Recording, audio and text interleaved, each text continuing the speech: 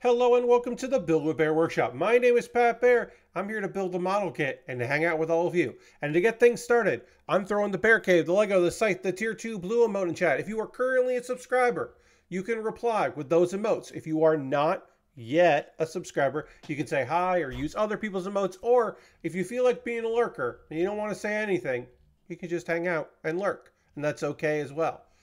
It is Saturday. May the 4th be with you.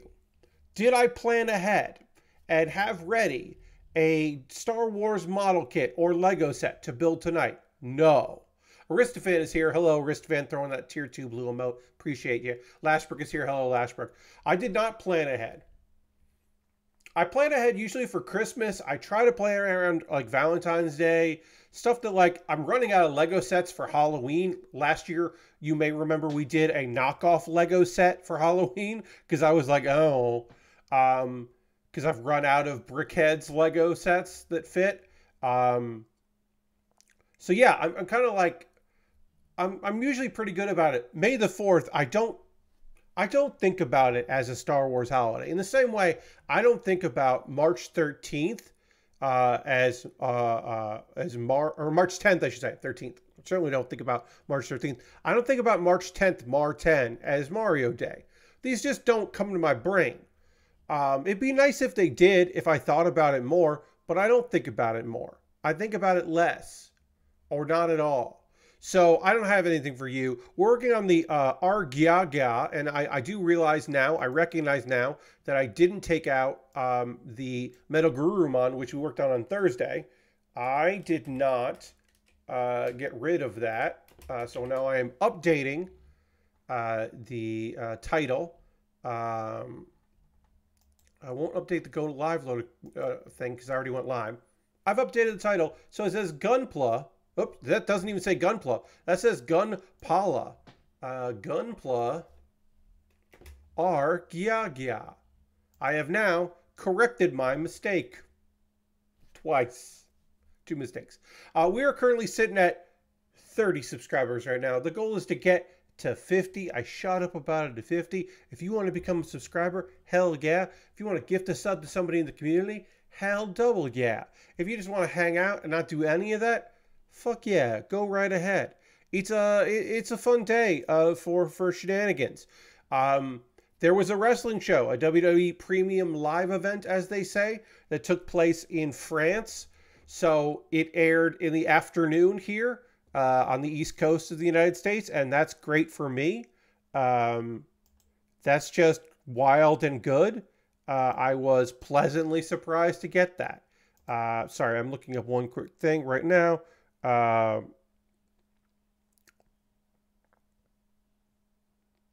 yes, okay. So I had to look up a name, and I've looked up that name.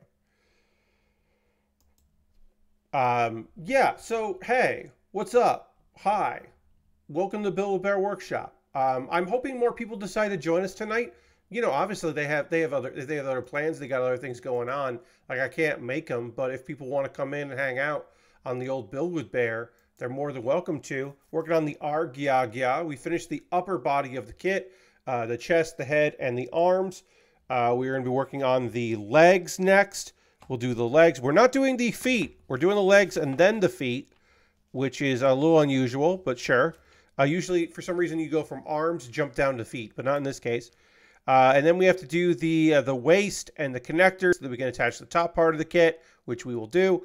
And then the shoulders, uh, the shield weapon, uh, which uh, or sure, sorry, the shields, which are also the shoulder weapons, and we got to build out the shoulders and all that, and then the the beam saber and all of those things, and then the shoulder, the pauldrons come off, and you can put beams on them. So we've got some uh, stuff to put on there. Also, yes, the two beam sabers do connect together and yes, if you really wanted to make a stink about it, on today, May the 4th, we will have a kit that eventually will have a beam saber. And we could make a beam saber tonight just so we can say, well, we got a beam saber. It's, you know, it's like a lightsaber. It's clearly inspired by a lightsaber. So we could say that if we wanted to, but let's just let's just be reasonable and say, nah, we're good. Um, let's see. Uh, let's go to the main feed. Yeah, let's go over here. So here is the R-GyaGya. You can see we got the head, we got the chest, the arms done here. Um, I did something to this kit. Uh, this polycap, uh, the neck polycap, kept coming out. So I have made an, uh, a slight alteration in that I stuck a bunch of liquid cement in there. So now the uh, this polycap won't come out. So hopefully uh, the pressure of the head will, won't make it mo moving around, won't cause the neck thing to pop out because uh, that was becoming a, a, a, problem. And that will no longer be a problem. Some of these legs, we can do uh, the start part piece of the leg, we can do at the same time, and then the rest will be one leg, then the other leg, which is fine and good. So we'll get into that. Uh, so let's get going on uh, this section of leg that we can do, as I said, at the same time, which makes it convenient. Um, I do not have a Twitter update right now. Uh, Block is going to change how Block works, but we don't we don't have a timetable on when that's going to be, or if it is going to be that. Uh, but here is a the very rare Blue Sky update, which has uh, something to do with Twitter. So it, it it felt worth bringing it up in our long-standing Twitter updates. Instead, we're going to take a little detour and we're going to do a uh, Blue Sky update. Um, so uh, on uh, Twitter, the verified account user at Jack, one of the founders of Twitter, who was also uh, on the board of Blue Sky, was talking about Open OpenSats, which I'm not going to get into. Basically, it's a starter startup thing, uh, and Jack has put some money towards it, and he was talking about that and then someone um, uh, basically added him and said, "Hey, are you still on the Blue Sky board?" To which Jack said, "No," and that was as of today. Um, the bad Jack is no longer at uh, at Blue Sky, and that's great uh, because it's not like he wasn't a fucking problem. so good for Blue Sky who again, I don't necessarily have any dog in the race of who's going to win the social media war uh, because it does very much seem like there is no winner in that war and it's just a bunch of other social media are going to exist and they will screen cap Twitter things. Uh, I say this as the announcement about, not the announcement, the people talking about this were talking about it because he mentioned it on Twitter and they screen capped it and posted it on Blue Sky. So that's how like I am aware of what's happening with that. So my my grand thoughts on this are nobody nobody's going to win this. It's just going to be different. There will not be a public square uh, in the future. It is just going to be a bunch of social media sites, and either you pick one, and that's the one you use, or you use all of them, and you try to use them for different things, uh, or if you blow the fuck up on one, then maybe you, you know, don't do the other ones. As as many of you are aware, I am on still on Twitter. I am on Blue Sky. I am on um, uh, God, what else am I on? Uh, I'm on Mastodon. I'm on Cohost, although that's really more more of trying to get Tumblr vibes than anything else. Um, I'm not on Threads. I have a Facebook account. I have an Instagram account. I could post on threads. I don't want to post on threads. Oh, I also have a TikTok and, you know, but whatever. I don't post promos on TikTok. I post videos that no one watches. It's fine. It's okay. Uh, I'm not I'm not hitting the algorithm correctly to really post on there. All right. So we've got our connectors here. These seem to be in order and correct. We'll find out later if I fuck this up. I believe this is a knee piece. Yeah, this is a knee piece here. So I'll know later. Uh, I'll know if I fucked up this knee piece and I can fix it with the other one. But I don't think I did. I think I did okay. We'll find out though. Um, yeah, so that's a minor update there. Um, if there's any other small news before we get into talking wrestling, um, let's see. Uh, yeah, let's talk about it. Uh, Backlash France uh, happened today. It the first match kicked off at 1 p.m. Eastern time. which uh which is great. Unless you're, I guess, on the west coast of the United States, it would be frustrating, or, or west coast of North America, I should say. It'd be frustrating because you would, it'd be very early for you. But for me, it was like, yeah, I had the pre-show on at noon. I finished eating lunch and had some stuff ready to go, and I was like, okay, I guess I'll uh, watch wrestling for the afternoon. That's pretty good. Uh, uh, AEW does not have Collision tonight because of uh, basketball. So I was like, okay, well, if there's not going to be that wrestling on to watch late tonight, like, I don't mind watching a premium live event, which is what they call their pay per views because they're not on pay per view. Um, I was like, yeah, I'll watch that. It's a B tier show, Backlash. In the old days, uh, this show would be a lot of WrestleMania rematches. You would just get, you know, I, eh, or variations like, oh, it was a three-way fight at WrestleMania, but now it's a two-way fight, or it's a, or vice versa. This was just like a stopgap show. None of these were long-standing feuds. A couple of them were things that were happening in the background that have been kind of building, uh, like Bianca Belair and Jade Cargill versus the Kabuki Warriors. Well, they were part of a six-woman match and now they're in uh, you know a tag team match. Like that makes sense. That's like direct fallout of what's happened. Uh, kind of makes some sense. Um, D twenty five is needed. Uh, so like I said, yeah. So there were some stuff that was like kind of some payoffs and other stuff that was just like eh, kind of rushed. Like, hey, we're gonna have a tournament to decide who your number one contender is, and it's this person. You've got two weeks to cut promos, and then we'll have you'll have a match and that's about it. And it's like, okay. Or, hey, you've been fighting for like a couple weeks and like building up this feud, and now you're gonna have a pay per view match, and maybe you'll have another one eventually, but right now this is it. So enjoy that match because that's what you got. It's like okay. Um, so yeah, the storylines weren't necessarily super deep, but that's kind of like this. It's kind of like the vibes of this show.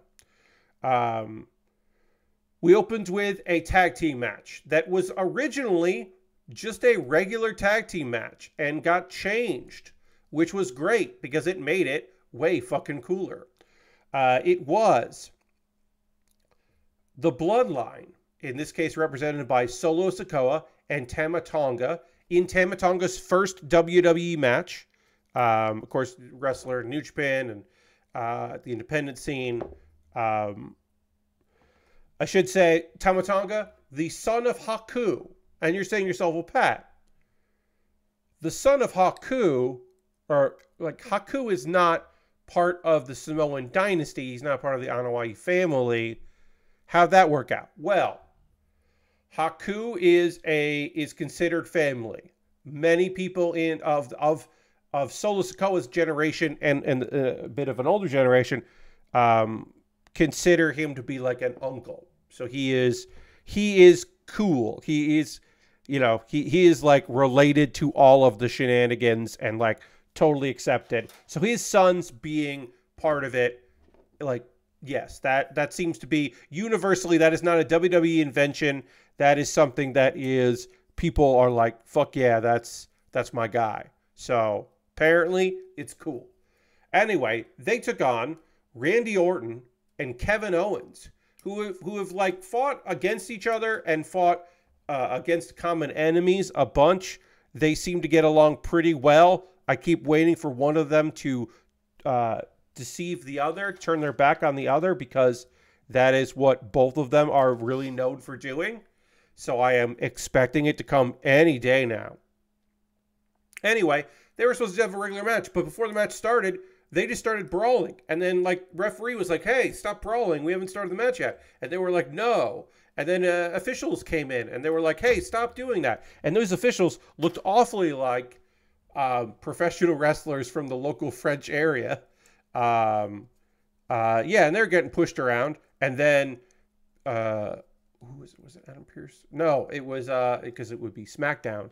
Um, Nick Aldis came out and was like, hey, you want to brawl around, you want to hit people, you want to, you know, whatever, fine. You can brawl around.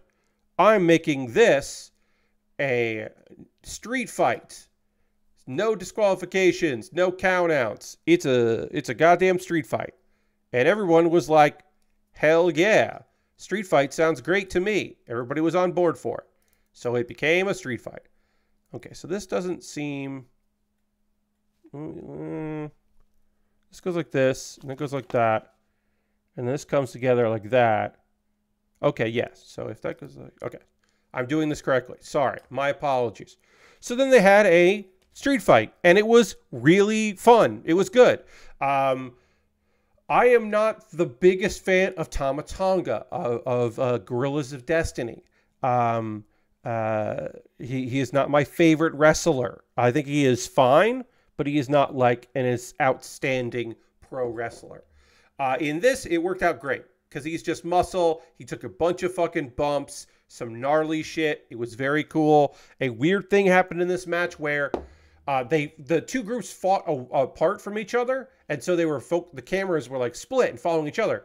And then at one point, um, Randy Orton like hit Tama Tonga and then like lost him. He like lost place of where Tama Tonga was. So the cameras were like, let's not just focus on just Randy standing there. So both cameras in a split screen. So it was like one camera like here and one shot there, like down the middle.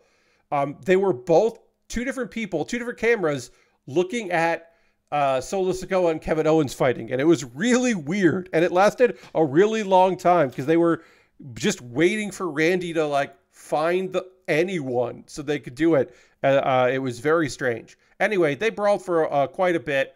They fought back and forth. Uh, there were some big moves. Randy did an RKO to Sikoa on a table that did not cause the table to break, which was surprising. Uh, that was odd to see. Um, lots of fighting, and then uh, a pinfall certainly was going to end it. It looked like our heroes were going to win, the good guys were going to win, and then the unthinkable happened. The referee got pulled out of the ring, so he could not complete the three count. Or if you looked at fan footage, um, pulled him, scooted himself out of the ring because the person that was supposed to pull him out of the ring didn't do a good job of it. And that person revealed himself to be, by just being there, it was Tanga Loa tongaloa who is the uh, brother of Tama Tonga. Uh, he is the adopted brother of Tama Tonga. Um, and also um, uh, Hikuleo. Or, yes. Uh, or, yes, yes, that's right. Yeah, Hikuleo and Tom. Hikuleo, Tama, and Tonga are all brothers. Um, Loa from New Japan, as of like a couple days ago from New Japan. Like no one knew his time with with with that was up. No one had I, any idea uh, that the Guerrillas Death, Destiny um, were just not there. Uh, New, yeah, he's not in New Japan anymore. We don't know. Uh, Tonga, you may know from his time in New Japan, as I said. You also may know uh, Tanga Loa as his alternate name when he wrestled in the WWE as Camacho. He was a uh, like a, a, a California, LA. He was definitely going for a Latin American, Mexican LA gangbanger style, uh, even though he is Hawaiian. Um, uh, but yeah, he was definitely going for some kind of nonsense thing with that. But uh, he he rode a bicycle to the ring that was like a decked out lowrider bicycle. Um, it was it was whatever. And then he was in NXT for a while, and then he, he was at NXT, and then he was uh, Tanga Loa in New Japan for a whole lot of time. And now he's in the WWE. So now the current bloodline is run by Solo Sikoa uh, with help from two of Haku's sons, which is weird. Uh, do we think Hikuleo will also join? Probably. Uh, so I I was wrong because I said, well, this is Tama Tonga's first match in the WWE.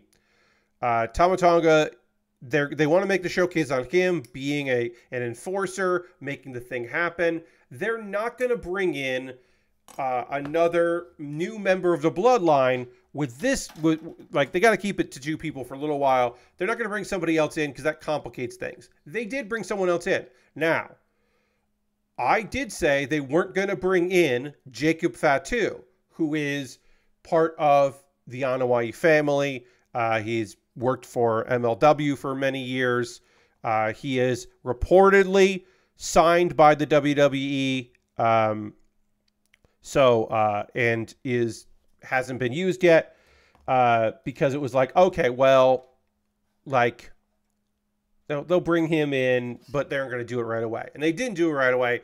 They instead brought in the guy nobody knew was available. Uh, so that's that's wild and cool. Uh, and then there's the thought of like, well, the Usos could get back together because they beat up Jimmy Uso. So they could like get Jimmy Uso back in, and maybe uh, Jacob Fatu shows up and helps out the Uso brothers, and then it's like internal bloodline, like who's the real bloodline and who's the fake bloodline. I don't know if they're going to do that, but they could do that. Is what I'm saying. What I'm saying is they could do that, and it would be pretty cool. Um, I'm going to jump ahead. They're telling me right next to make the legs or to make the feet, but I'm going to uh, do the rest of this leg, and then I'm going to panel line this leg. Uh, and then I'll work on the feet. It's a very strange thing. I don't know why I didn't start with the feet. I don't know why I did most of this leg, and then they want me to do the two feet, and then do the rest of the leg. That seems weird, so we're just going to ignore that and work on the next part. Uh, I need a one.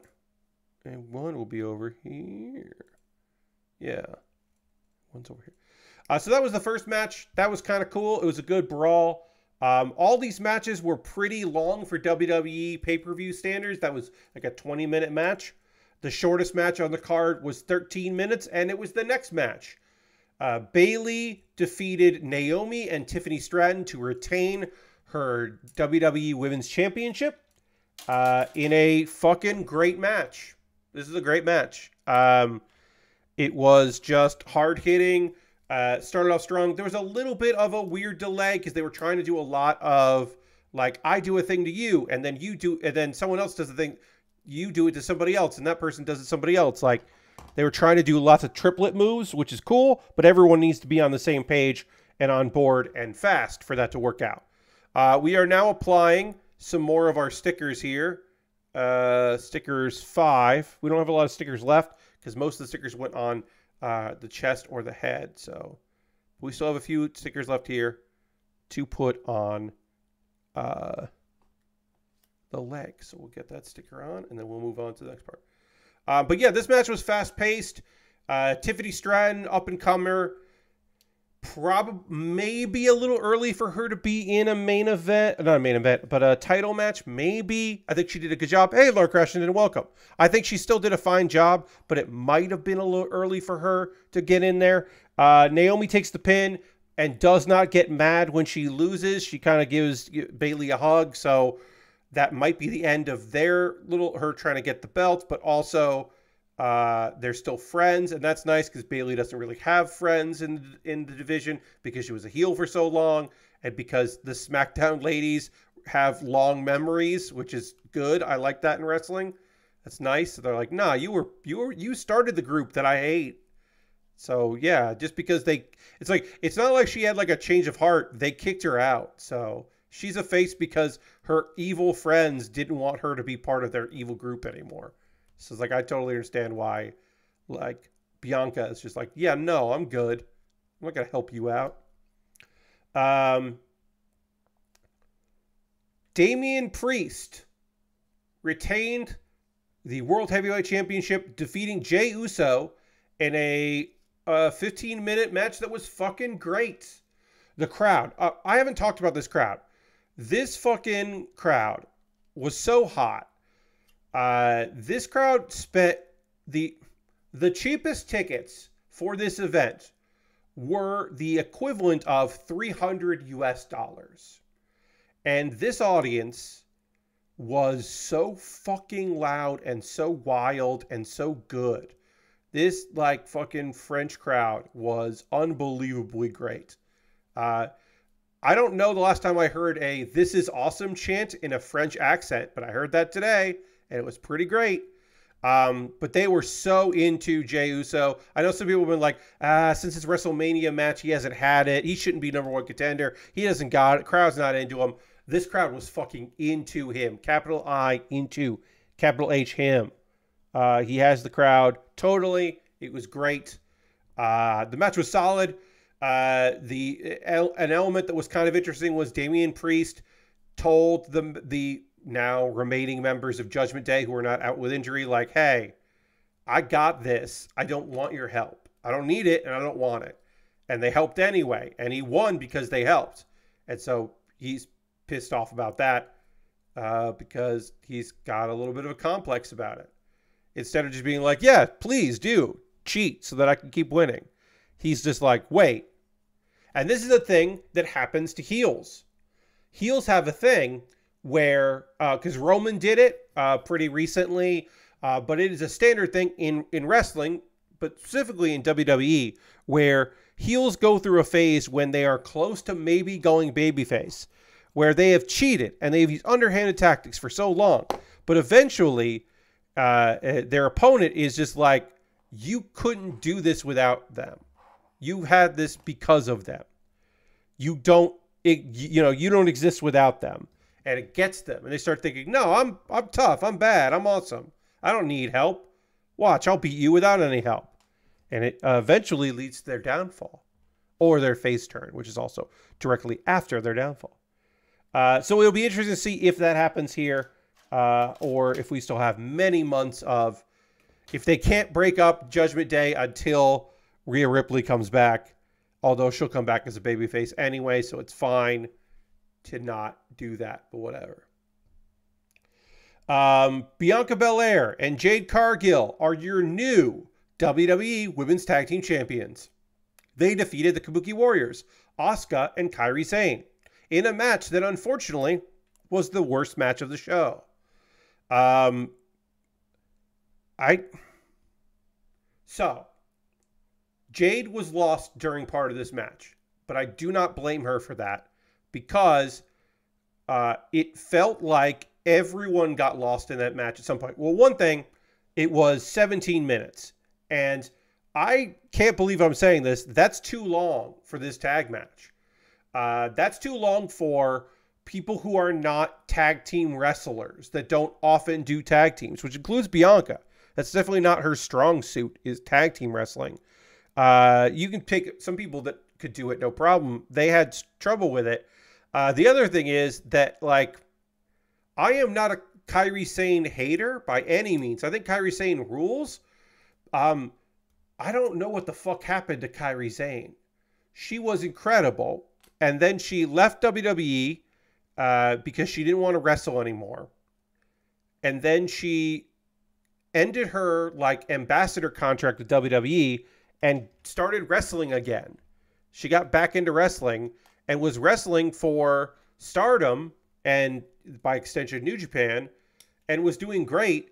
And then that ended and she came back to WWE and she has not been great since she came back. And I don't know what the fuck's going on, but it's weird as hell because she is a phenomenal talent that just seems completely and utterly washed.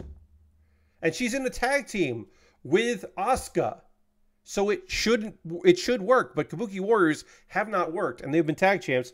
So this match, the only thing I can think of, if I if I really had to put my mind to it about like what the fuck happened here, is my uneducated guess is that they had a like 10 minute match worked out. And then right before they got out there, they were like, hey, we're short.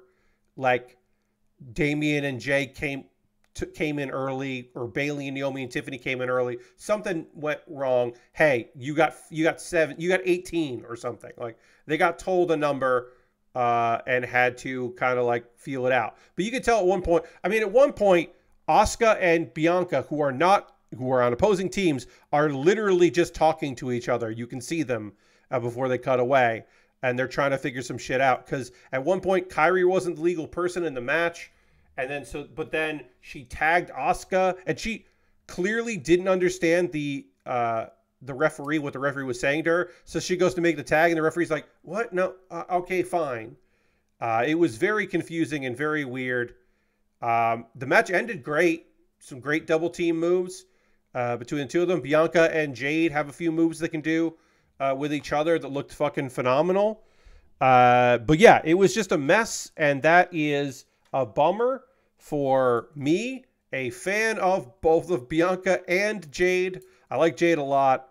Uh, I think she is awesome. I think she gets better and better all the time. And uh, I think she was put in AEW in a championship role way too early. I think the undefeated streak uh, hurt her more than it helped her because she should have just been a wrestler that they had their eye on and they built up instead of being like this girl is athletic and looks incredible so we're just going to shoot her directly to the moon. And i think wwe i mean i say this as she is a champion but wwe i think is doing it smarter. She's with bianca. They will their their next opponents will be a season tag team that can carry the weight. Bianca is going to do a lot of the work and then there will be a lot of hot tags and some power moves, and people will go, "Oh, they just used they just used Jade for power moves, and she doesn't do any of the work." And it's just like, yeah, that's that's fine. Not everyone has to be the best wrestler on the wrestling show. Sometimes you can just be a cool ass uh, physical specimen and just look dope as hell while you're doing cool shit, and that'll be also good. Uh, which is a bit to me anyway of of uh, of Jade. Um, but anyway, happy they're champions. I'm happy Bianca has something to do. I think they they look great together. I think they work well together. They seem to have a rapport. It's good shit. Um, I'm into it. And then the main event. Cody Rhodes retained the undisputed WWE Championship, defeating AJ Styles in a match that was pretty fucking good. Surprise, surprise, AJ and Cody put on a great fucking match. Uh, the longest match of the night at 27 minutes.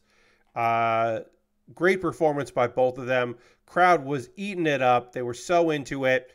Uh, this is the point that I will tell you that uh, I think that happens in professional wrestling when it goes to, or it just happens in Europe a lot of European countries, the um, slogans and catchphrases and songs that are chanted or sung that are have to do with sports kind of also get into wrestling. So, for context, if you say the word in a in a wrestling performance or in a, a sporting performance, phenomenal well, because it was very popular during FIFA's World Cup, the year a song about phenomenal came out, like phenomenal in in the song, uh, French fans will fucking sing part of that song. So when they go the phenomenal one, the crowd just started fucking singing. There is a chance at a two count. Instead of saying two when the referee counts one, two, and there's a kick out, instead there's a chant that's basically just like simply two, like simplement deux, something to that effect. I don't believe it was simplement, but it was something to that effect of like that. Like, but it's basically just like only two, so it's like duh.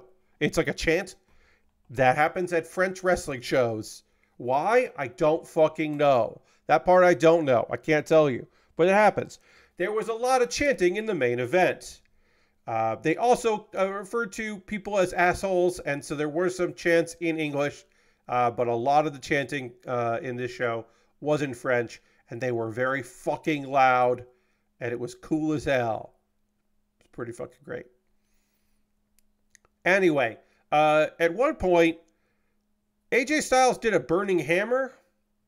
AJ Styles uh, gave Cody Rhodes a burning hammer, and then Cody kicked out at one, and then basically like powered up, and it was very cool. And I know some people are fucking mad because people get mad about cool wrestling shit.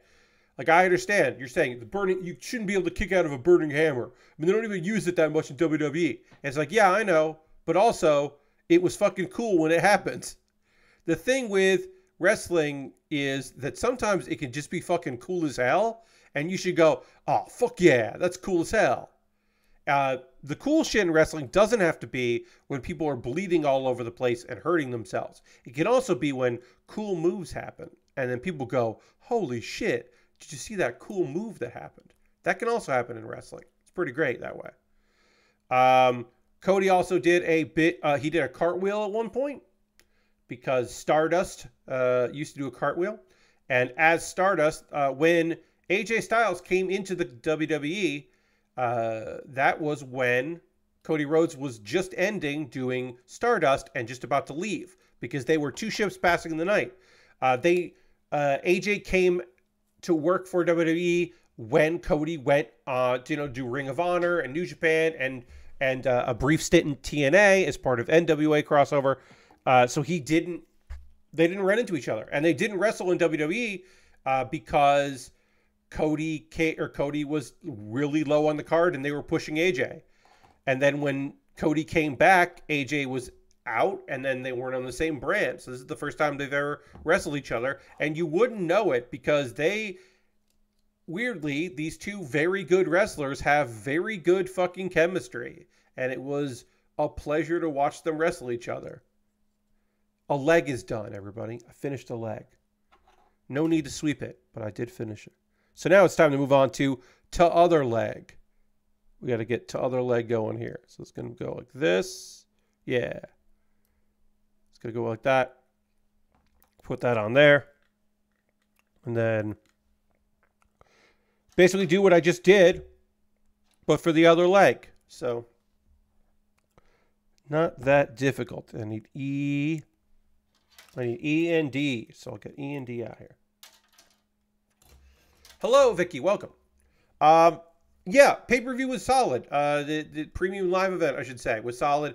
Um, I will not be watching the um, Saudi Arabia King and Queen of the Ring. I do not watch the Saudi Arabia shows. I do not have plans to watch that. I am undecided if I am going to watch SmackDown the night before uh, because that is also coming out of Saudi Arabia. Uh, and I, the thing is, uh, generally, if it was just me, I wouldn't. But because I often watch wrestling with friends, and I normally watch SmackDown with friends, uh, that I am often the person that is making that, uh, organizing and making happen. So I don't have to do it, and so I probably won't.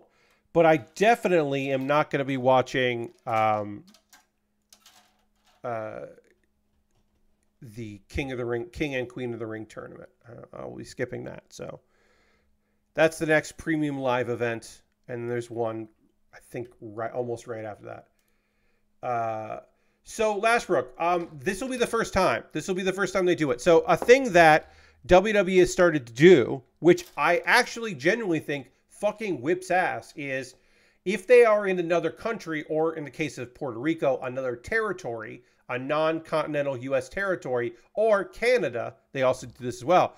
Um, they used to do something where, like, if they had a Saturday show, the Friday night SmackDown that would be pre-taped. The previous week's SmackDown, they would tape uh, another episode directly after that. They started to do something. Uh, they did it with. Uh, um, they didn't do it for Clash of the Castle, but they did do it for the Puerto Rican show, and they also did it um, for the the France show today. Is they did a SmackDown in the same building, um, and they're going to do that again for the Saudi Arabia show. So they'll do SmackDown. It won't be live. It will be live in several territories and then shown at normal time, uh, and then in Saudi Arabia that'll be live then at a different time. So it'll still air at like 8 p.m. Eastern time uh, at uh, on Fox, but it will be recorded uh, live to tape in uh, in Saudi Arabia. But they did that, and it was great. Last night's SmackDown was fucking rad, um, and it live it, it aired live in Europe, so a bunch of you know European people didn't have to stay up really late, uh, which is which is fun. It's a rare treat for them to not to stay up or watch it the next day. Um, so yeah, I, I don't plan on watching that SmackDown uh, because I don't watch the Saudi Arabia shows. That is my uh, that is my uh, opinion on that. So, but you know, still pretty good. Um, let's see. Uh, I don't think I have anything else to say about that. Let's get into some. Let's see. Is there any other wrestling news? Oh yeah, some wrestling news. WrestleMania 41 is going to be in Las Vegas. So I'm going to get to how we got to here. Rumors and speculation have been like sometimes they announce WrestleMania, the next WrestleMania, at the previous WrestleMania. They're like, in WrestleMania 40, it would not have been out of the ordinary for them to be like, and tune in for WrestleMania 41. But they didn't do that. They didn't say what it was. So people were like, when the fuck is WrestleMania? When's it going to be? There were talk that it was going to be in Minnesota because they have a big arena, uh, but they could do that in an arena that uh, does have a roof, so it wouldn't be as cold in April. There was talk that maybe it would be in the Midwest, but be in May um, because a May show uh, would be warmer. Uh, and then it, it's mostly generally in April, but sometimes it is uh, in May uh, because then you could do WrestleMania. Um, and that's silly in a way that I think is pretty great. But no, it's going to be April 19th and 20th, another two nights there. They're not going back. WrestleMania 41 in Las Vegas, uh, which is going to be great, except for the it's going to be expensive. I mean, there are some cheap places to stay, but it's going to be tough to for the people that like to do shows around WrestleMania. Vegas is a bit of a tough city. That's a bit of a, a, a tough one to get uh, everybody there at a reasonable uh, price. I think there's going to be a lot of like old Vegas. Uh, that's probably going to have to be where a bunch of people do shows, but it'll still be great. And there's still people that want to travel. And there'll be look. I know some people who are in LA that already have hotel rooms. They immediately, as soon as it got announced, they booked hotel rooms because they were like, "Yeah, I'm going to that." For for my LA friends, it, it's a no brainer uh, to go to Vegas. Uh, so I know some people that are very excited about this. Um, I think it's fine. I think the idea that for like doing it later in April isn't a bad call. Uh, 420 uh, WrestleMania is fun. Uh, that that's a fun bit of business. That does mean that the GCW collective shows, if they do a Sunday or Saturday night show, that and you know it suddenly is midnight. That's gonna that'll be 420. That's fun. Harold uh, with a tier one uh, for almost a year, 78 months. Let's throw the Bear Cave Lego site tier two blue emote in chat. Let's thank Harold for 78 months, which is just a ridiculous amount of months. Harold, thank you so much for your continued support. It means the world to me. Um, that's so many goddamn months. But yeah, throw those, those emotes in the chat. I'm going to do that right now. Uh, that's just so many months, and I appreciate you for all of the support. We're currently at 30 subscribers. The goal is to get to 50. I shut up about how many subscribers I have when we reach 50. Have we reached 50 yet? No. So the reference uh, references to it continue. Uh, glad to be here, Wyatt. Glad to have you. Oh yeah, so that's the date of WrestleMania 41. Um, sorry, Minnesota. Sorry, Minneapolis, Minnesota. Apparently, you were you were in the running. Uh, sorry, U.S. Bank Stadium. Um. Oh, yeah, sorry. But yeah, that'll be good. Um, let's see other wrestling things maybe we want to talk about here uh I, I said uh, that uh, that WWE Backlash, um, lots of people were there. Tickets were very pricey, very expensive tickets. Well, because those tickets were so expensive, they broke their attend. They broke a gate record, not attendance, gate. Um, they set the biggest arena gate. So that's so that's two qualifiers. One, that's gate. Uh, and two, that's arena. So the most money they've made in an arena. Um, official estimate of 11,682 people. It's a small place. They were fucking packed in. There was there was no room for much of anything because they were just taking up so much goddamn uh, space with just bodies. Um, let's see. Uh, they didn't announce the gate, but uh, the previous record was uh, Money in the Bank from last year, which had a gate of 3.32 million. So it's more than 3.32 million. Um, adjusted for inflation, the uh, the record is believed to be WrestleMania five. Um, let's see. Um, because that show, adjusted for inflation, would be about four million dollars. Uh, let's see. Uh, Meltzer mentioned that the gate record was set as ticket prices were the highest for any arena show in WWE history, with an average ticket price sitting around $300. Sorry, I said the bottom one. That's average. Average ticket was $300. So there were some that were cheaper. My apologies for getting that information incorrectly. Uh, but yeah, average is $300, uh, the equivalent of $300.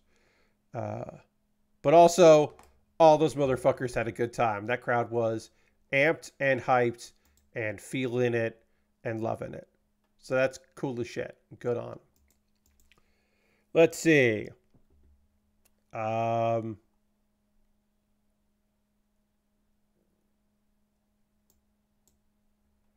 uh, let's see here. What we got going on here? Um,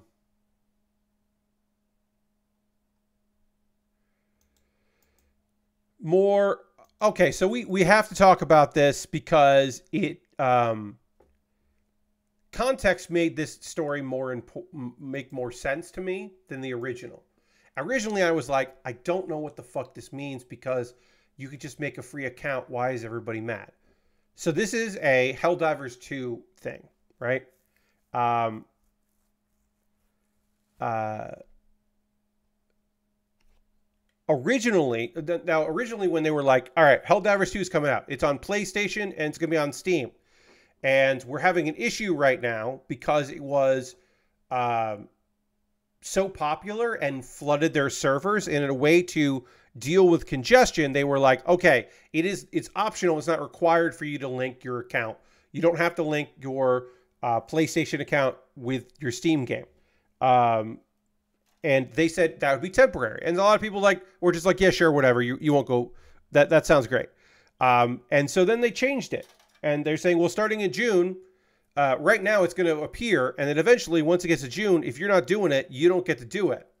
Uh, and you might say to yourself, well, PlayStation accounts that's just free. You can just make a PlayStation account, and you can link it and that's fine. Like that's not a big deal. Like Pat, you you probably did it, and like yeah, I did it. It's no big deal. And to me, that wasn't a big deal. It wasn't something I thought about. But the context that I was missing, and I'm going to say this, the context I was missing, um, was that there are a lot of countries in the world and regions in the world where there is no PlayStation presence, and you can't just make an account and those people won't be able to play Helldivers 2, even though they bought it on Steam. So Steam is basically like, if you're from that region and you want a refund, we will handle your refund. Because it it was it again, it's not just because they were like, oh well, if you don't get you know like you don't get to play the game like some of the features or whatever. Like no, it's like no, you won't. If you don't have the account, you don't get to play it. Um, and that's probably what it's going to be like going forward. But that is a thing to take into account when you're like, why are people mad about this? Why why are people review bombing this? Uh, why is Arrowhead like taking the L on this one? Um, new players will have to make a free PSN account if they don't have one, and link it starting Monday, May 6th. All right. Uh, current players, so that's new players. So new players, as of Monday, you got to do it. Current players have until June so if you want to get some gaming in before, you know, if you were in a region where you just can't do it. Um, and then the Arrowhead CEO is just like, yeah, we encourage you to send feedback to PlayStation customer support. They're basically just like they apologize. They're like, yeah, we this is not on us. This is not our decision. We're clearly not happy about this. And you feel for them because they made a really great game and the the PC version plays really well and it sucks that this is happening. Uh, now the reason why you're like Pat, why why are they bothering with this shit? What do they care? Uh, supposedly, this layer is for you know they're like well this is very important. Um, uh, plays a critical role in protecting our players from getting grief and abuse because you need to be able to report people through the PlayStation uh, stuff. And to report people, you need to have an account. And for people to go through temporary or long term or permanent bans, they also need an account. And I get it, and that makes sense, but it still fucking sucks. And it does mean that people who bought the game, who are in a region where Sony does not have a presence, are shit out of luck. Uh, and that is a big old bummer. Uh, so again, uh, I, yeah, I did not have all the context for this, and now I have more context for it, and it makes more sense to me. Um, but yeah, I didn't have it all at once. Let's see. Um, let's see. Um, there were no pl- the, hey, here's a fun thing I can say. Uh, there were no announced layoffs since Thursday. Since I announced, I, I talked about all of those announced layoffs that had happened since Monday. That nobody got nobody got reportedly laid off on Friday. So that's that is a uh, small bit of comfort. Uh, I know that does not help much at all, but but it's true. Yes, congratulations. I don't have to report on layoffs.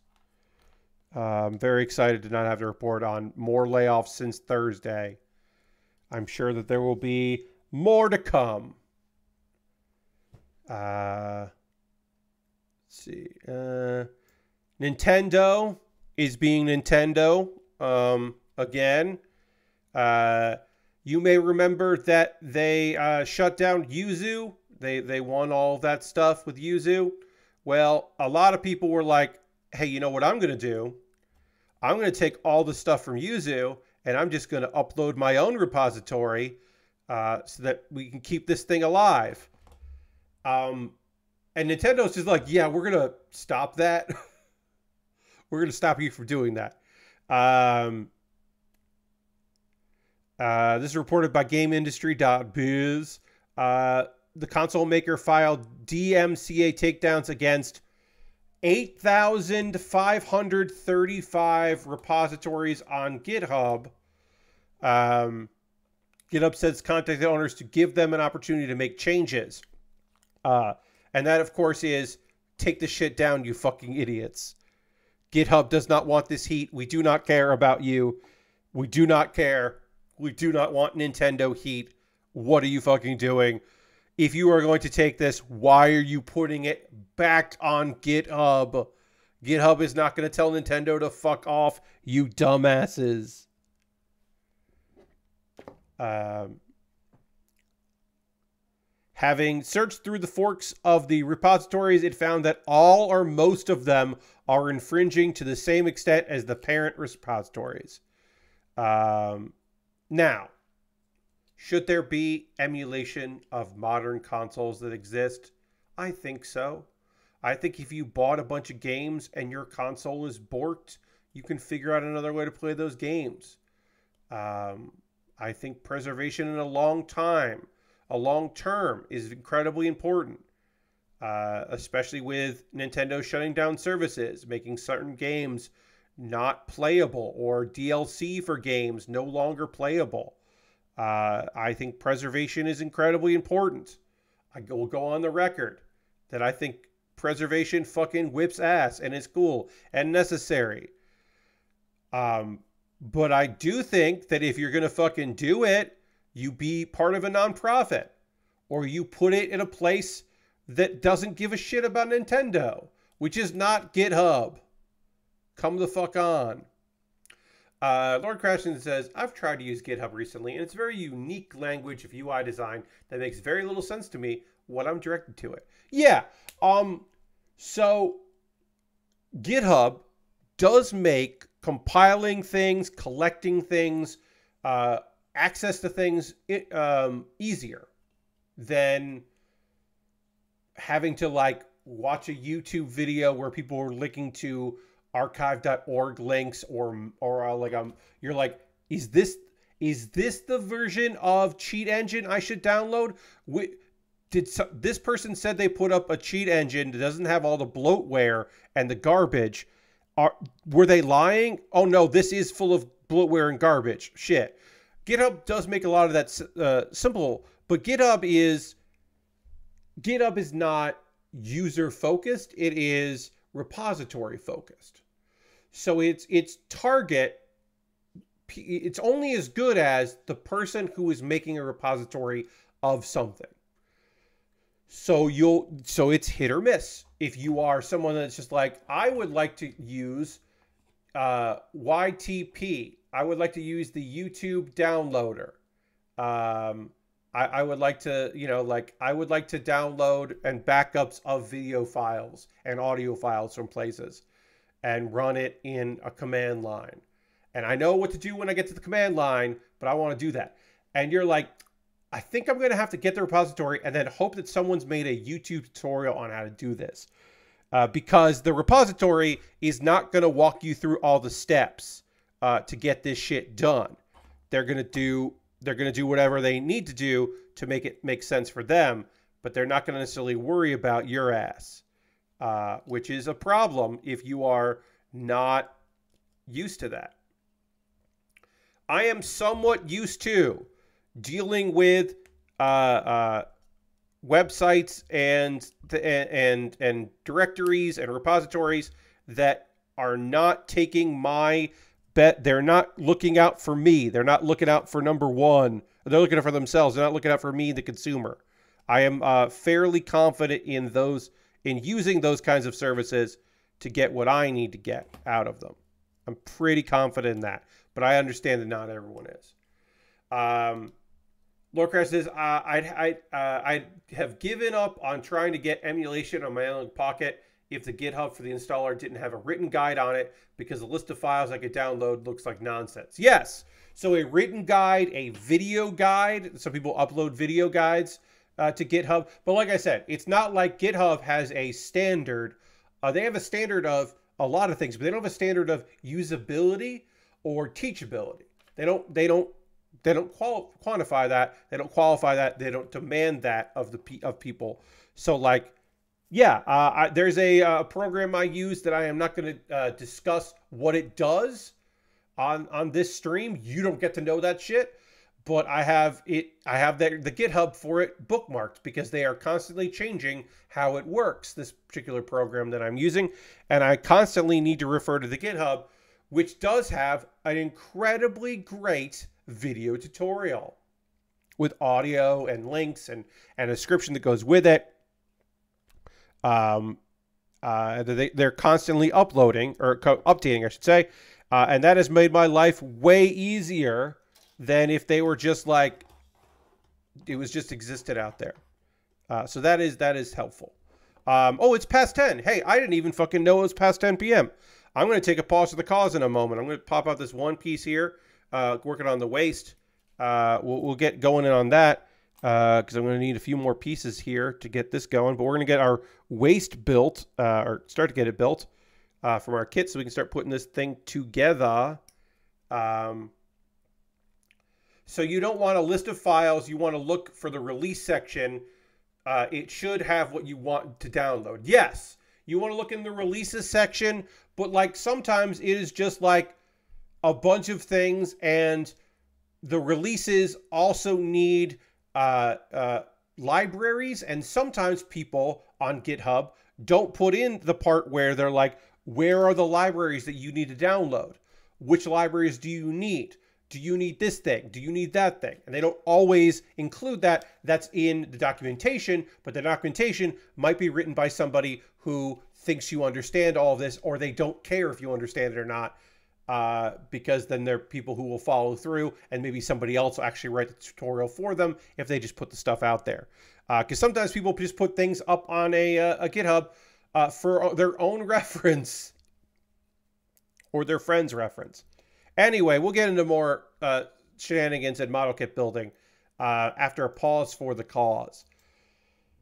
Hello. I am going to keep this brief because there are not many of you watching right now, and I, I do want to say most of the people that are watching right now are, yeah, uh, almost all of you watching right now are subscribers, but there are a few people that aren't. So, first and foremost, if you are uh, currently subscribed to the Builder Workshop, you can throw the Bear Cave, the Lego, the site, the Tier 2 Blue emote in the chat. Being a subscriber is the easiest way to support what I do here through cash money, like Harold did. You could be, be like H Bomb and friends. Or your Prime Gaming token. If you have Amazon Prime, you link it with your Twitch. Uh, you get uh, you can support somebody there. Uh, it would be great if you supported me. Twitch is going to be changing how some of the payouts for that work, and I will be losing a couple dollars a month now. Uh, but if you want to use your Prime token, you should still use your Prime token because it's still fucking rad and great. Uh, cash money is also really good. Love that too. Don't get me wrong. Uh, but yeah, if you want to be a subscriber, feel free to do that. It will be great. Uh, bits and coins are always appreciated if you want to join the uh, cheerleader board. If you want to gift a sub and be in the gift sub leaderboard, there have been zero gift subs in the month of May. If you want to be the first person to get the sub in May, you could do that at any time. Uh, but right now, it would also be cool. Uh, we are currently at 30 subscribers. The goal is to get to 50 subscribers. So if you want to jump in on that, you can. But there are other ways to support what I do here besides that, like you could always go and blah, blah, blah, blah, blah.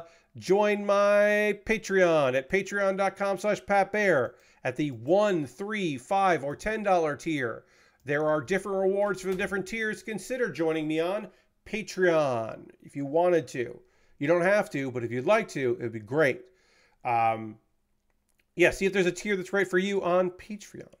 Also, while I've got you here and I'm talking about ways you can support the channel, I've got a YouTube channel over on youtube.com slash pat patbaer. Subscribing is free. If you haven't already, please subscribe to my YouTube channel. And then if you want to become a member, if you wanted to support me financially over there on YouTube, uh, for $2 a month, you get my Wednesday video on Tuesday.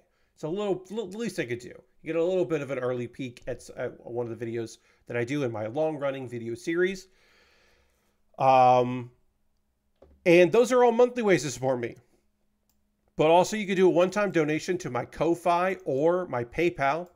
You want to cut out the middleman, go directly to PayPal. Uh, everything I make through direct donations, through YouTube, which includes AdSense, so watching my videos helps me out, through Patreon and through Twitch, all goes into a fund. And out of that fund, I spend money to build, to buy model kits, kits to build them. The R-GyaGya right here that I'm currently working on right now. The R-GyaGya I would not have been able to buy this R-GyaGya without past uh, patron support. So thank you very much, uh, patrons and uh, subscribers and all of that. I was able to pick up this cool looking kit when it was at a good price on uh, Amazon. I was very excited and happy to do that. Now, speaking of Amazon, uh, the next kit I'm going to be building is a Lego set that I just got today from my Amazon wish list from an anonymous buyer. Uh, that'll be the next thing that I build because uh, somebody bought it for me. So it jumps the queue. And I made a dedicated video on my YouTube that I'll, everybody will be able to see tomorrow. It'll go out to everybody tomorrow. Uh, if you, that's right, you would also like to be uh, uh, uh, a person that buys something and has their item jump the queue and become the next thing that I build, you could buy something from my Amazon wish list. That's the easiest way to do that. I have inexpensive kits, like little cheap Lego sets, expensive model kits uh, you know, model kits that are er, that are like 18 bucks or model kits that are $70. Like, don't buy that. But, you know, sometimes people want to spend a lot of money and that rules. Uh, I've got model kits uh, from Pokemon and uh, uh, a couple Digimon, Lego sets, all kinds of different things that I'm happy to build if you wanted to pick it up. Uh like I said, I got a small Lego set that just came in the mail that I'm excited to work on. Um, and uh, yeah, uh, See if there's something there that you'd like to see me put together. There's some gear at the bottom because I could always use some gear.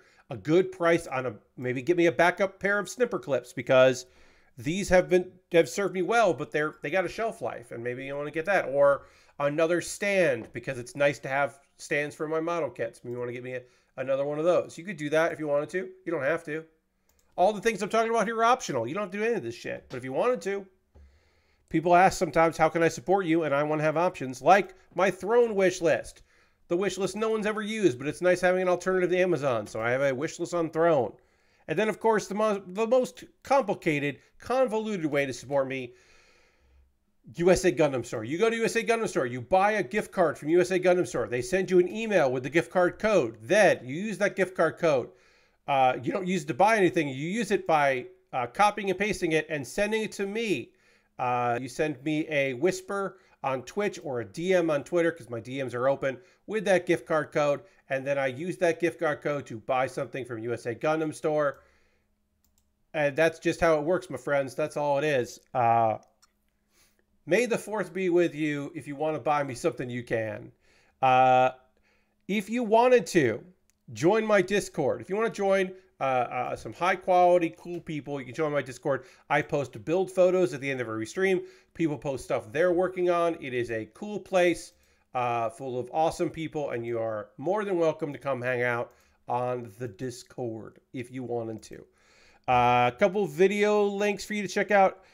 My most recent Pat Baer's Anime Club is me recommending shows from this season.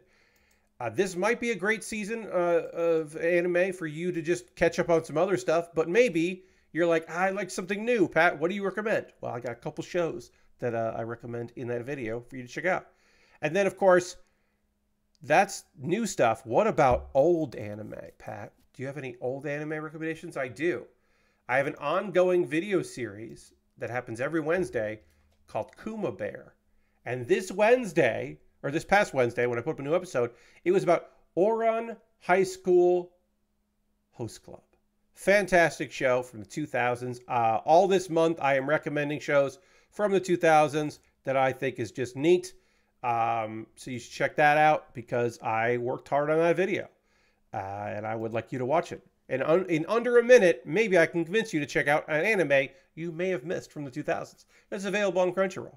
Um, so, speaking of anime, I do have an anime to talk to you about. I didn't get a chance to watch the two shows because of wrestling today. There's another show that I would have covered today, but instead I'm going to cover it on Monday. And normally, normally, we do Manga Monday around here it's good alliteration. Also, because often on Monday I don't have much to talk about, so we can do it in the second hour, or I haven't watched a lot of anime, we can do it in the second hour. Since I only have one show to watch today, instead of the usual Manga Monday, tonight we're we're going to talk about manga on a Saturday. And because I don't have a good alliteration for that, I have come up with a light novel title for the segment. So I'm going to take a pause for the cause. I'm going to drink some water.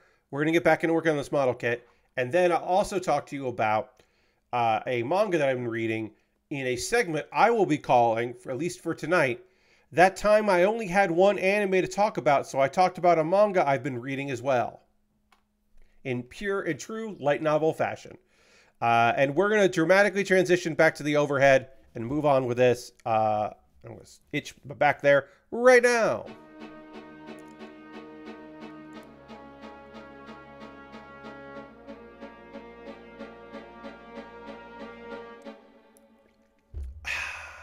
All right. Now for the manga section, aka that time I only had one anime to talk about, so I talked about a manga I've been reading as well. And in pure light novel fashion, we will be talking about the anime, the manga, I should say. I am invincible with my luck stat at 999 in infallible instant instant death magic. This is not an isekai. Uh, but it is a fun female-led uh, uh, kind of. It's kind of a kick story. It's a school uh, action series. Um, she was abandoned, so I actually, you know what? I shouldn't say it's kind of is. It is. It's part of the banished kicked because she was a uh, she was left to die, uh, but did not die. So, um, Sachi is our main character. She has no magical power. She has a magical power rating of one. That makes her, with a magic power of one, you can't really do anything because the more magic power you have, the better spells you can do. And if you were a commoner, well, you wouldn't have magic at all, and so that's okay. You would just live your life.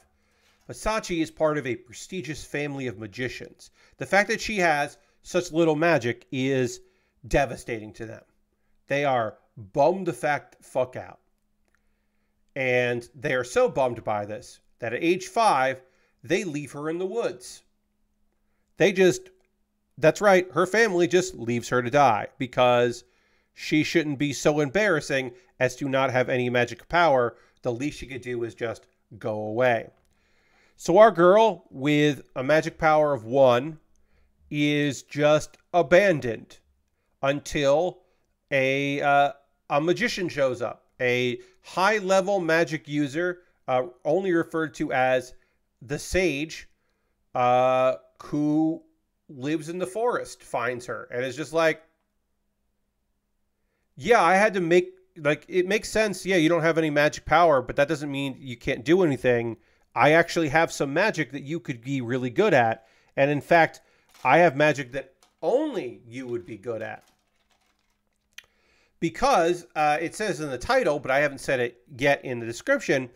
The thing with Sachi is that she has an abundance of luck. Her luck stat is at level 999, which they which her family consider to be completely useless. Why would that be good? Why would that matter? Why would that be good? Who would care about that? That doesn't matter. It's only about your magic uh, power. So, uh, so she's trained, and basically her teacher is just like, your magic, your talent could change common sense of magic.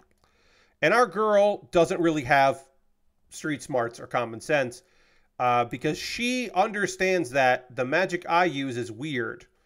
Uh, and I should specifically say the magic that our girl uses is um, magic that relies on luck, like instant death. She can just ca- cast instant death, and instant death should have a. Per- I think that, I can't remember the percentage. I didn't write the percentage, uh, but basically she's just like, yeah, um, I make the impossible possible people don't use these spells because the success rate is too low, but it doesn't matter for me because my luck stat is so high that I can just use instant death magic because with a 100% uh, success rate, like, yeah, I don't have to worry about that. Like, it's not a big deal. Like, there is n- no magic is a big deal for our girl.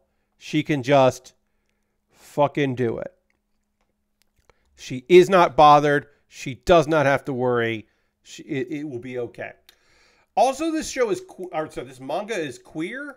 It's pretty queer. She meets a girl and uh, at school, um, uh, I imagine the light novel is probably more explicit about it because again, our girl is is real goofy about this shit, uh, and it's a lot of people just being like, "Well, th- your luck is going to run out. And it's like, literally, no, it won't.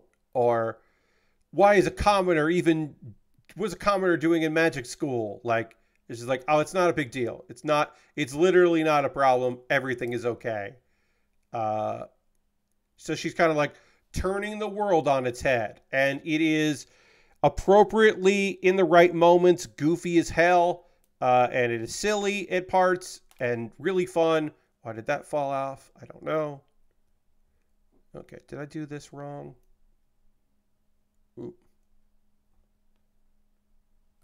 It's hard to see which way this is supposed to go. Is it supposed to go like that?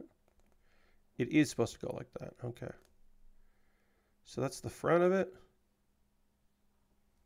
Hmm. Okay, that's the front of it. Sorry, everybody. I'm uh, a little confused here if I did this correctly or not. Sometimes you just don't know.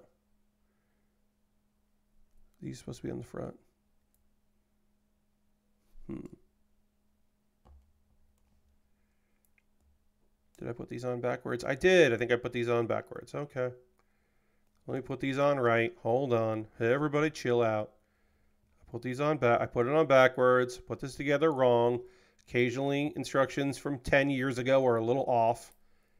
And if I was not also trying to have a conversation with y'all and talk about a thing that I'm enjoying, I would do better. But sometimes that's not possible. And I'm just going to miss a step or miss something. But I think I figured this part out. I think I've got this waist together now. Oof, the air is off in the house and it's getting stuffy in this room. It's okay because we only got another 40 minutes of the stream, which is is fine. It thanks everybody for hanging out. But uh but yeah, okay. So I got that part done. Now we can move on to the next part of the build, which is the front part of the waist. So we can get that going. Uh, all right, let's do this here. It'd be nice if we could get body complete on this kit, but there's a lot of parts to this waist, so I don't know if we'll get all of it done, but we'll get some of it done. At the very least, we're getting plenty of the cool gold pieces here.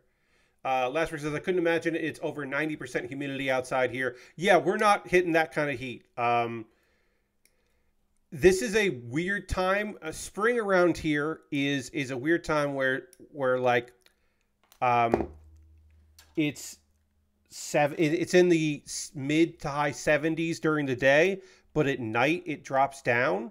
But my room doesn't keep up with how it's. My room is often warmer than it's outside. This is the smallest room in the house. It is the hottest in the summer and coldest in the winter. Um, but also, it's small. My door is closed, so I am not disrupting uh, the people in this house. Uh, but the air was on when the stream started, so I couldn't have my window open. Uh, so the window is closed, but I have three monitors on and I have my computer kicking out heat and it's, you know, it's not processing at all, but it's, it's moving heat around. Uh, so things are getting warm around here is basically what I'm saying. Uh, things are getting a little, a little hot and heavy in here. Um, and it like in like a week it will be so warm that the air will be on 24 hours a day and it won't be a big deal. Uh not 24 hours but it'll be on for like 18 hours a day you know. And it'll be cold enough it'll be cold enough that when the air goes off very late um it'll still be residual cool. But yeah right now air conditioning is not on and it is warm in this room and stifling um also, no bed.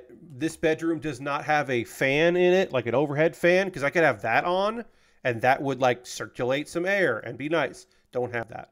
Um, I have thought about getting a small fan that I could just put like over there, kind of blowing some air, because um, that would be nice to maybe just circulate the air around. I could. There are. I could install. I because there's no overhead light in this room. Because the thing, like normally there would be like a, a, a lamp and a fan, but there isn't in this room. Um, so I could install a fan, I guess. At some point, maybe I should have years ago, but I never did. All right, I we are putting in. Um, we got to put in this uh, front part here, and I have to figure out where this goes. This looks like that. This looks like that. And then this piece needs to go in there. Uh, so that was the manga. I'm sorry, I got distracted by it suddenly feeling very fucking warm in here. Um, so yeah, there we go. There's our there's our front skirt. It did just flick off this off. Why are these so rough and weird? Um, but it did just knock one of these out. That's fun. Um, but yeah, front skirt secured. Time to work on uh, the the butt of this. The butt of this is a is a I said butt because it's a big old piece. You can see right there. Uh, but yeah, that was the manga I've been reading. It's cute. Uh, it's fun. It is la- it is not lazy, but it's like light in its like approach of like this girl got fucking abandoned, and she certainly feels bad about that. but the sage that rescued her and took care of her was like a mother to her, and they had a great relationship. But the story isn't about them living together. It's about her in school, and she is having a good time being like a weirdo in school and uh, and showing people that they're wrong. Uh, and you imagine at least a few rivals will become friends. There'll be some new friends coming in.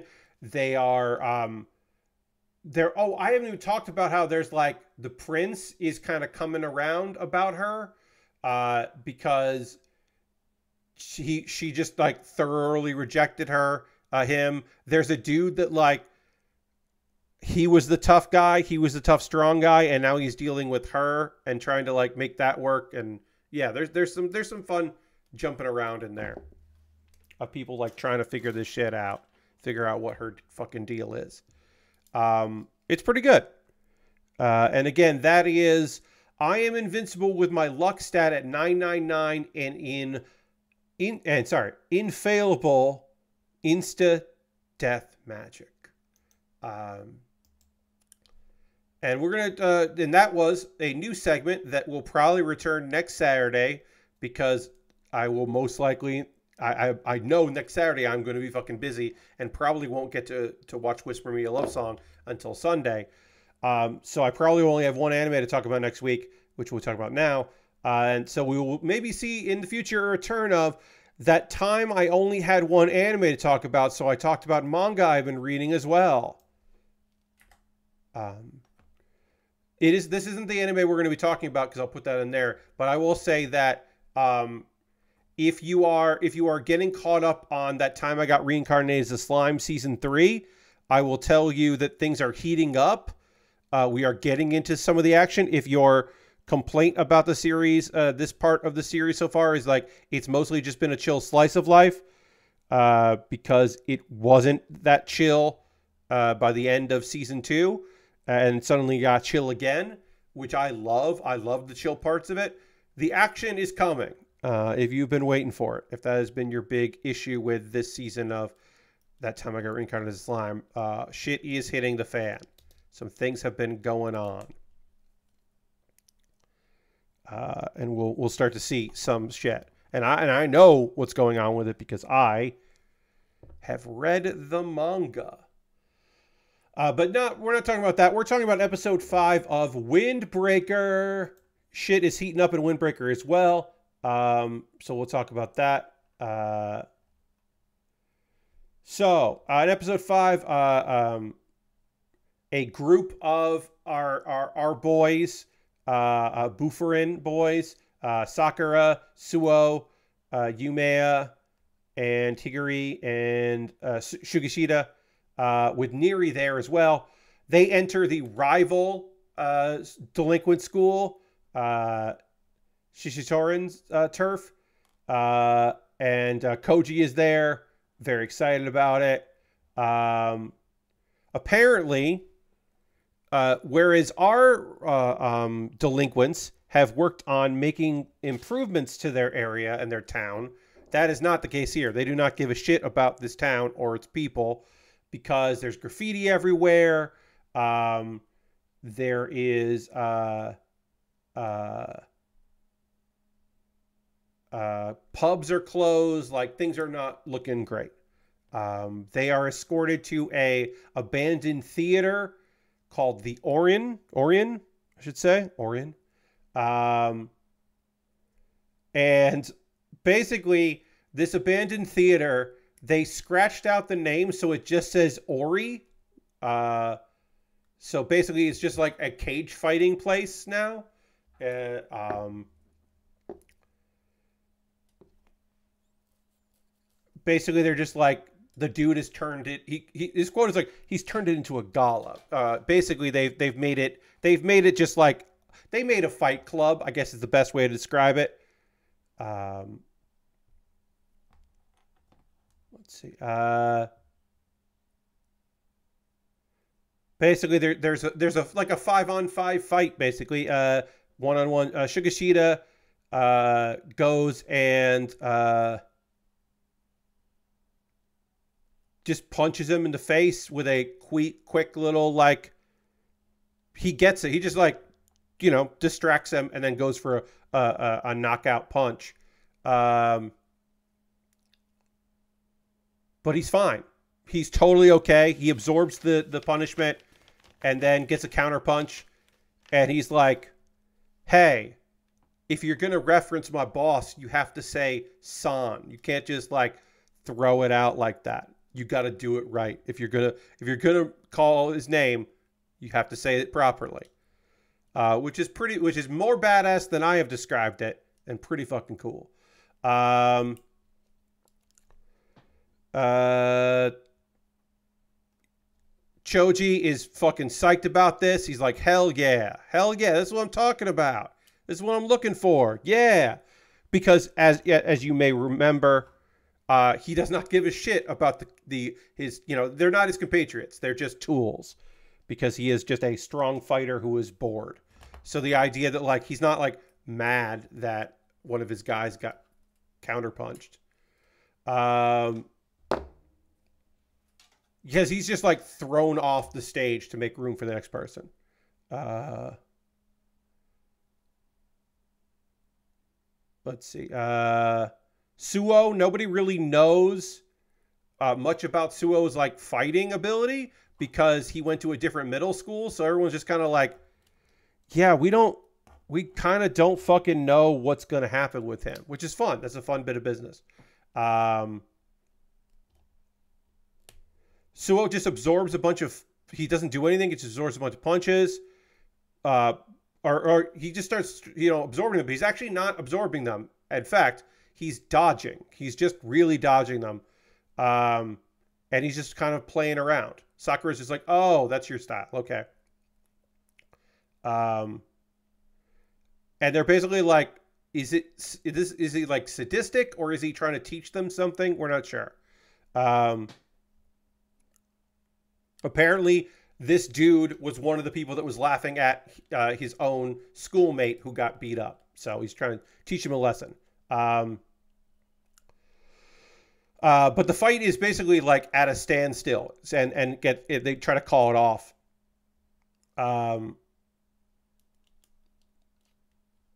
let's see. Uh, and basically, it's just like actually he's not even a part of this. He's not a part of the school, so uh, don't even worry about it. Uh, and apparently, Suo is just like you know, you, you got to try a little empathy. Um, it and like I, am not describing it fully uh, to justice, but it it is a cool moment of this guy. Like this dude laughed at his supposed teammate getting hurt, and Suo just like completely and utterly embarrassed him. Basically, like forced him out of the school, uh, and and all of this just by completely humiliating him, which is pretty neat. Uh, I, who knows if Suo is actually strong? We'll, we'll find out later. There's going to be more fights because this is the end of the episode. Um, and it was a pretty fucking dope episode of uh, Wind Breaker. Um, because he has been like the gentleman, but yeah, he, you know, pretty strong, and that was cool. Uh, and basically, like Shishitoren are the polar opposites. Like we're starting to really understand that, you know, we knew that the leader was different, but it turns out like, yeah, this is just a these delinquents don't have honor, they don't have code, they're just like a different style. And it's interesting to see that.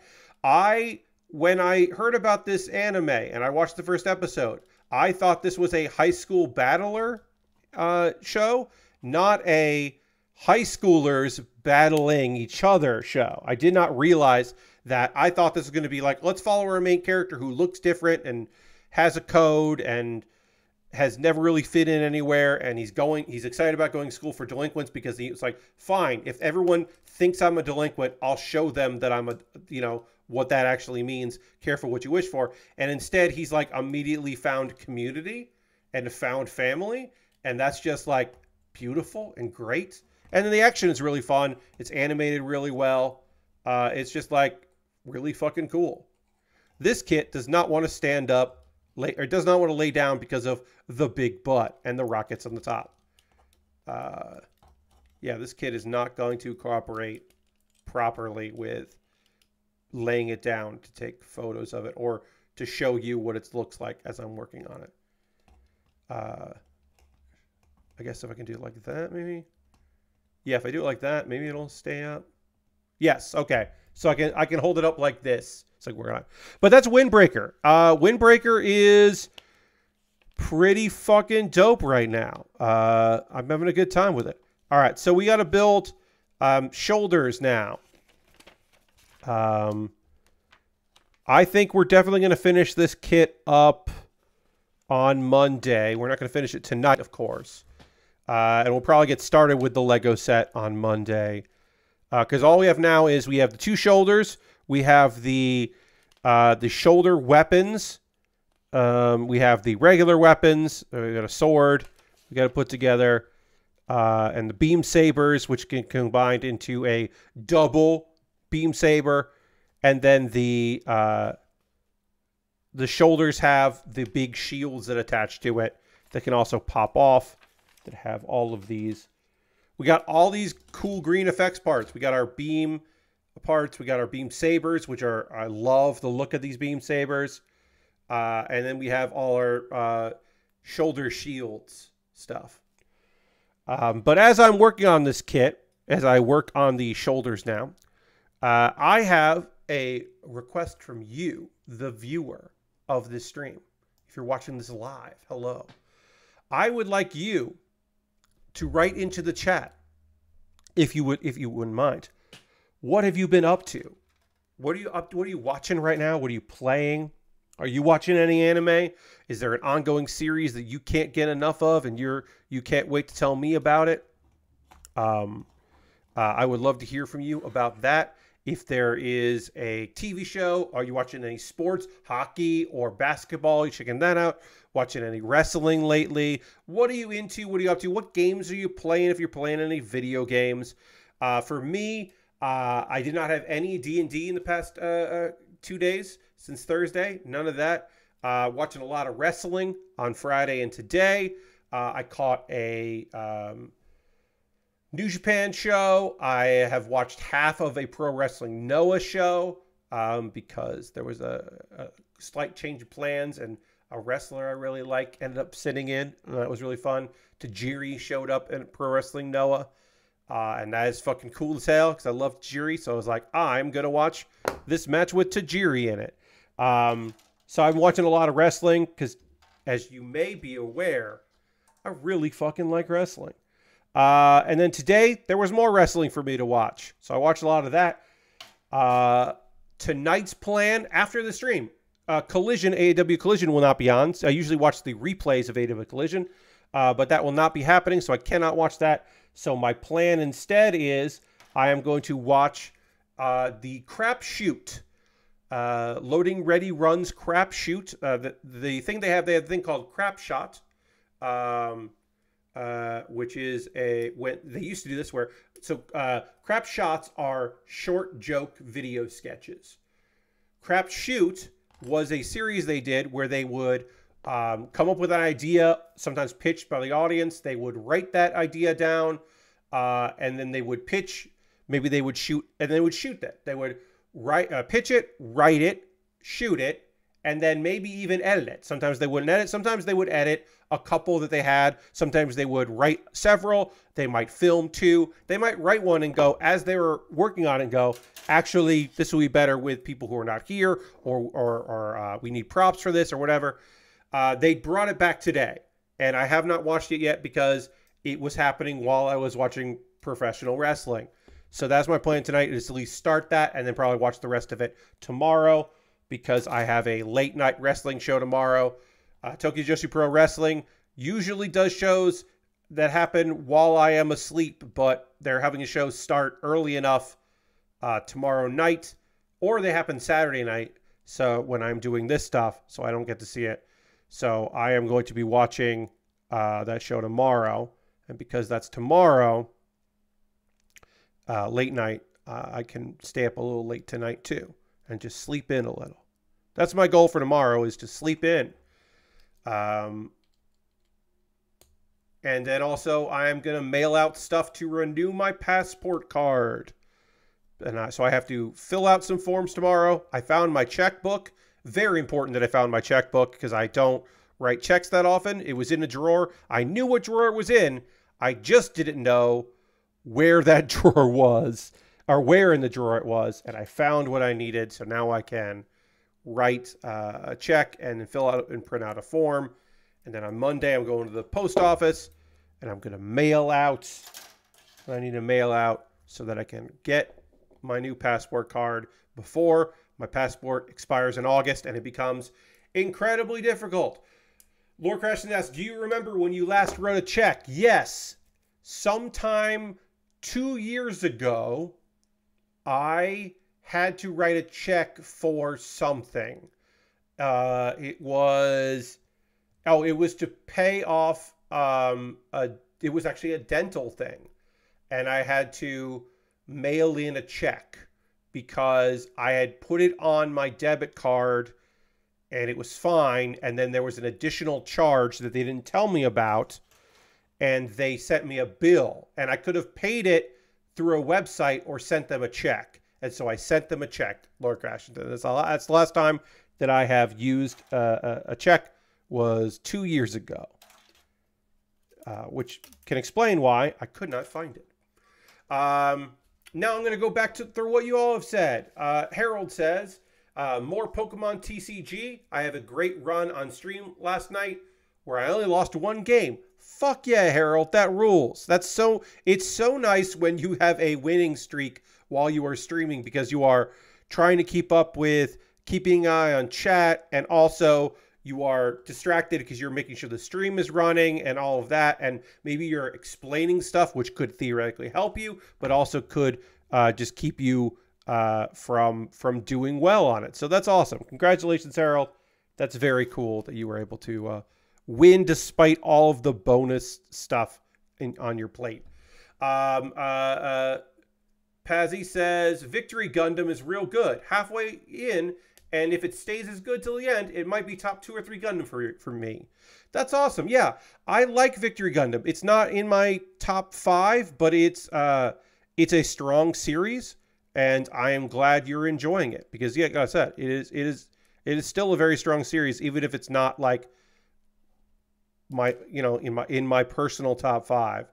Uh, it's still very good, and I'm glad you're enjoying it. It's always nice to have a good Gundam series to watch when you want to watch Gundam series. Uh, Harold says, "Well, it's easy to keep up with chat when you don't have any viewers." You're, you know what, Harold? You're right. Uh, you, you, you are correct. Um, when when when the numbers are low, it is uh, it is not that difficult to to ignore it. But if chat's moving at all, it can be uh, it can be a little tough to keep track of all that stuff. All right, I think I did. I think I connected these two right, but we'll find out later. Uh, we got to put together some weapon pieces here that go on the shoulders. We can just actually, you know what? We don't have a lot of time left, so we can panel line this. We can panel line these uh, pauldrons and then attach them, and then we can attach weapons into it later. So let's just panel line these and stick them on, stick our shoulders on. Um, Lesper says, I caught up on voice actor radio, and I'm glad that Night Dude got what's coming to him. Otherwise, I watched the first three episodes of Andor on my shiny new Blu-ray. Hell yeah, enjoy that.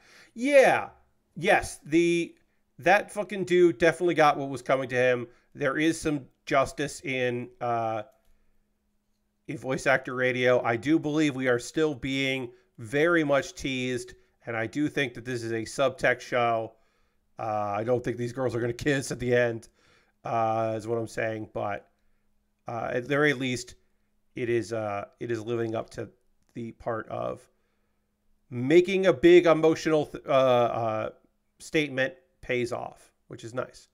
Um, Ghost Valve says caught up on Dungeon Meshi. Whew, right? I'm not gonna. I'm not gonna. No spoilers for Dungeon Meshi, but like, damn, damn. Uh, I'm not all the way caught up on that, but I have some friends that are way into it, and they were talking about it, and they were like, "Should we?" And I was like, "You can just say whatever." And so they said whatever, and I was like, "Oh fuck." Um. Yes, John. John's on episode ten. No spoilers. John, unfortunately, I did spoil by saying, oh, fuck. I'm not saying about what episode. Um, uh, finish some Magic Commander deck tinkering. We'll try it out on Monday. Hell yeah. Good luck with your deck tinkering. Uh, navigating real life things involving in laws, which was expected but unfortunate. Ghost Val, first off, hi. I don't think I've said hello to you tonight.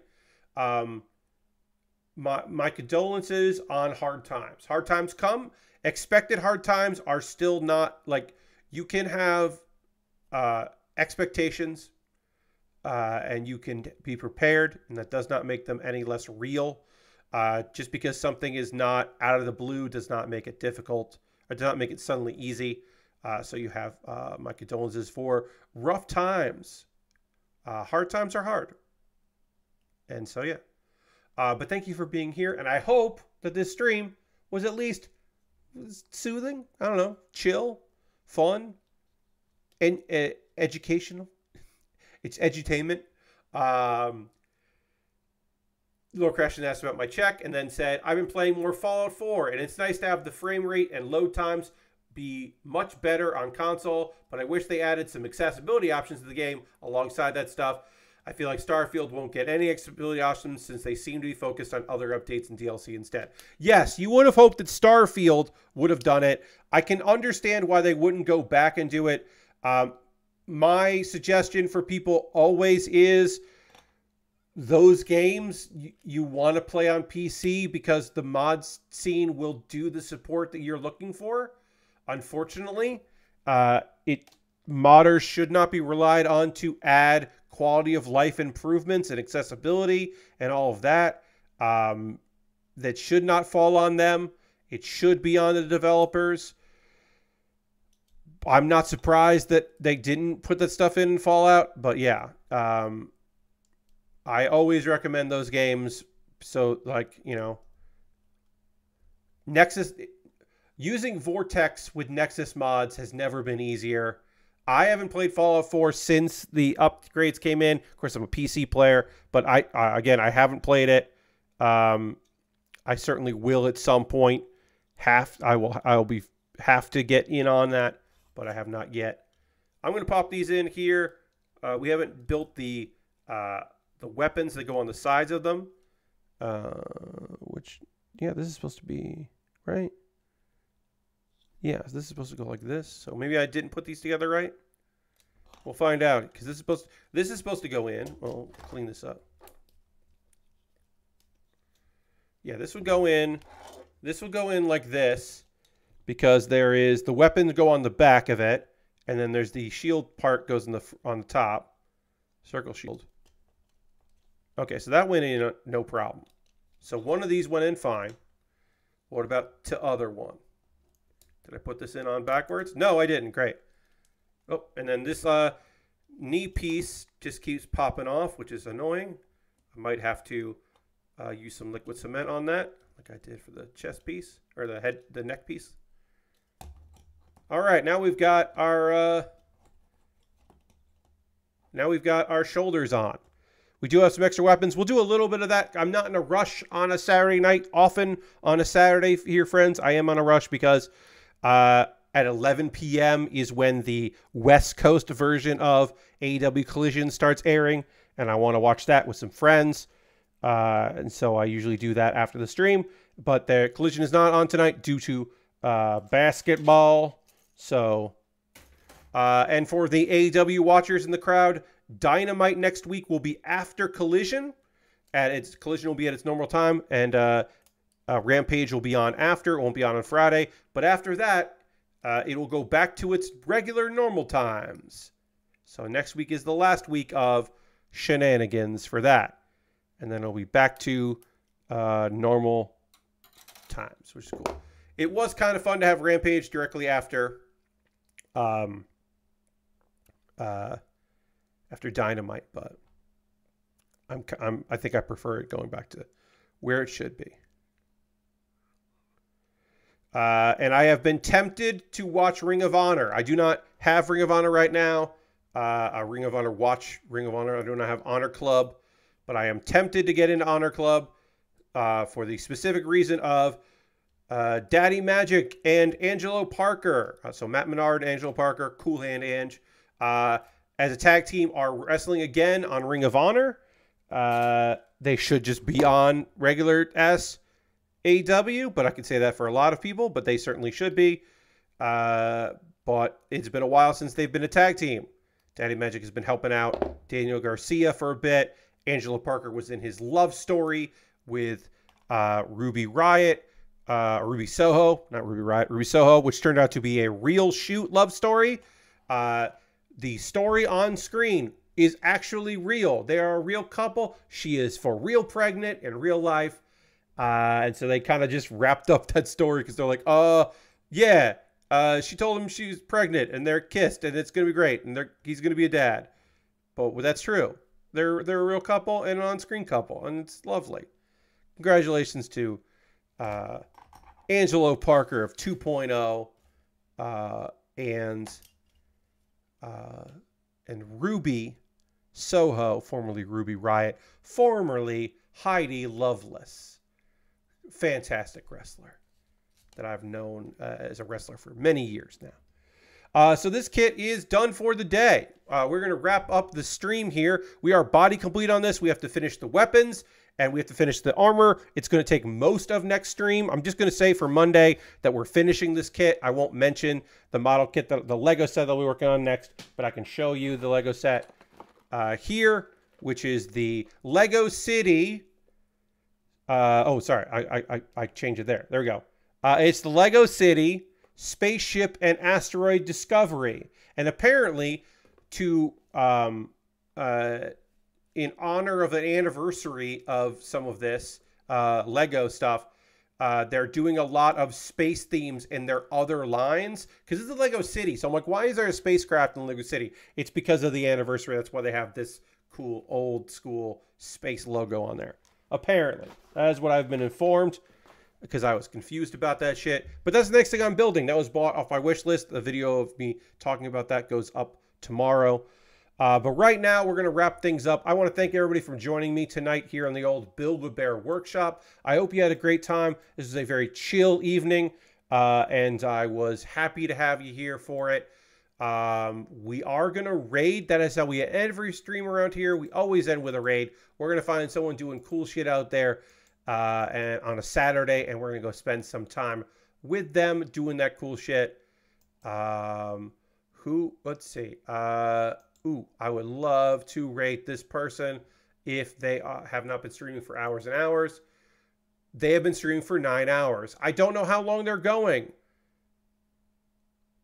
So I don't know if we should rate them because they've been going for nine hours, and that's a lot of hours. Um, should we rate somebody else? No, you know what? Fuck it. They've been going for nine hours. I have no idea how much longer they're going to go, but Liz uh, streams sometimes quite a bit. And here's the other thing if Liz is getting close to wrapping up, Liz raids awesome people. So we're going to have a good time with wherever she goes. Um, Unjan says we always end with a raid because Unjan is correct. We always end with a raid. We're going to go raid uh, Liz. Please come along. Liz is great. Uh, uh, she's currently playing a uh, an NES RPG with some friends, and that is fun. Uh, thank you all so much for being here. I hope you have a great rest of your weekend. Hey, I hope your weekend fucking whips ass come back on Monday as I finish up this fucking very cool model kit and then get ready to do work on a Lego set. Hope you have a great rest of your night. Goodbye, everybody. Goodbye, goodbye, goodbye, goodbye, goodbye, goodbye.